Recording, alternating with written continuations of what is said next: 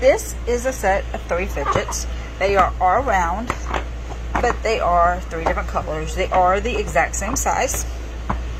They are great for one child, multiple child, or just to put in your living room and have something to do for the kids when they're just sitting there watching TV or doing nothing.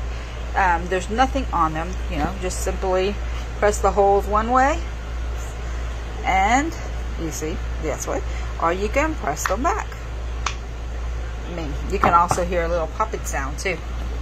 They're silicone, easy to wash, clean, and sanitize too.